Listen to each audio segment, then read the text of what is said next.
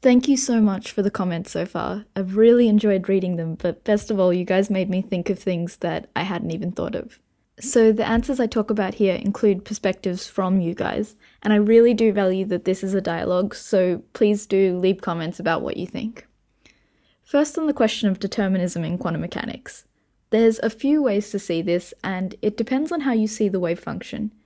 If you believe that the wave function is really everything you can know about an object, even in theory, then the Schrodinger equation says this the state of a particle, not just what you know about the state, but the actual state, is determined in the future, provided that you don't make a measurement. That simply is the definition of determinism, and so in this view, quantum mechanics is deterministic up to the point of measurement. However, people pointed out that if you don't think that the wave function is the state, but rather tells you about the uncertainty you have about the state, for example in Bohmian mechanics, then there is uncertainty right from the beginning.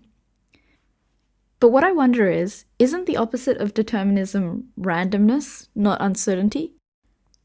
Also, even in the case with uncertainty, doesn't the Schrodinger equation tell you how to update your uncertainty? So, would you accept that as a form, form of determinism or not? As for measurement, in Bohmian mechanics, my take on it is that the outcome is uncertain but not random, making Bohmian mechanics deterministic. Many worlds is an interpretation that I want to make videos about eventually, but it's also deterministic because it doesn't accept that measurement causes collapse.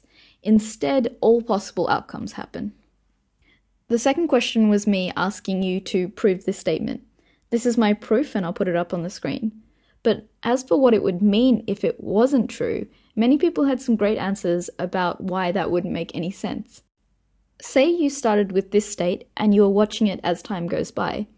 At time t1, you see that it's this. Then you check again after t2 amount of time, and so you update the state again. But then say your friend had only checked on the state once at the very end. Then their state is this. But you should both agree, I mean, there is only one state. This rule is very obvious, but it's something that you really want your time evolution to have.